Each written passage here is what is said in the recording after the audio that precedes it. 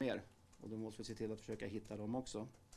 Vi har ett extremt Sammanhangen eh, har blivit yngre. Eh, maktbalans, skiftning och en rubbning i det. Det kan vara en utav anledningarna. Anledningen till att vi är här idag är att det har inträffat ett stort antal grova brott i Stockholm sedan den 25 december och fram till idag. Vi förstår att det är många som undrar vad som händer. Det finns en oro och undrar kanske vad polisen gör naturligtvis. Det som vi har nu idag, det är liksom inte en konflikt utan det är flera konflikter som pågår samtidigt. Eh, och som ni vet så är det pågående sprängningar och det är skjutningar i vår region.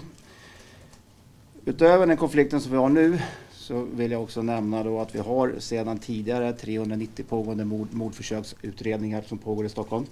Eh, vi har ungefär 400 häktade personer för olika typer av brott i regionen, vilket är ungefär 100 mer än vi brukar ha. Och den siffran ändras under föregående år. Vår första och högsta prioritet i Region Stockholm är att bryta våldsutvecklingen.